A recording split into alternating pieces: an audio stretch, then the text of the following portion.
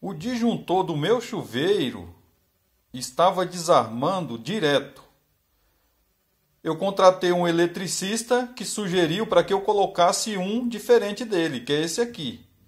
O meu era de 32, ele pediu para colocar o de 50. Parou de desarmar. Isso está correto? Olá, eu sou Davi Rocha da Silva, sejam bem-vindos ao meu canal. Em breve estarei postando um vídeo afirmando se essa troca pode acontecer ou não, e se não pode, por quê. Caso você queira aprender, é só acessar um dos meus canais. Eu sou Davi Rocha da Silva, simples assim.